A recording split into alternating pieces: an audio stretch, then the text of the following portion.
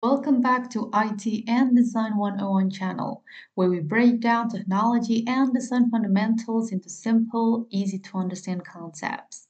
Now, we're going to talk about something super important in UX design information architecture.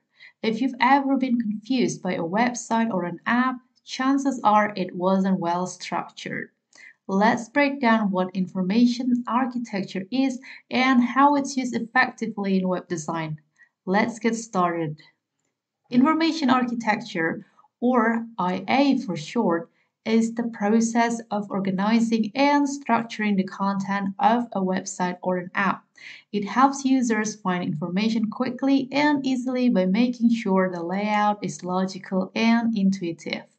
It focuses on how information is grouped, labeled, and navigated. Think of it as the blueprint of a website. Just like how a building needs a solid foundation, a website needs clear structure so users don't get lost or frustrated. To understand IA better, let's compare it to something we know a grocery store. When you walk into a grocery store, everything is organized into specific sections fruits and vegetables in one aisle, dairy products in another, and so on. This structure helps you find what you need without wandering aimlessly and wasting a lot of time searching for products.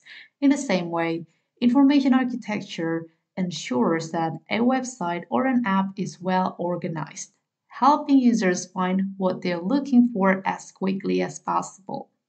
Information architecture improves the overall user experience. When information is logically grouped and labeled, users feel more confident and comfortable, making them more likely to stay on the site and complete their tasks. And that's the basics of information architecture.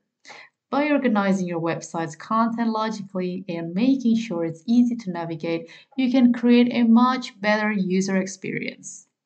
I'd love to hear your thoughts. Which website do you think has great information architecture? Share your thoughts in the comments below. Thank you for watching. If you're new here, don't forget to subscribe to my channel and hit the notification bell to stay updated with more Design 101 content. And if you found this video helpful, please press like and share. See you in my next video to learn more about the exciting world of digital design.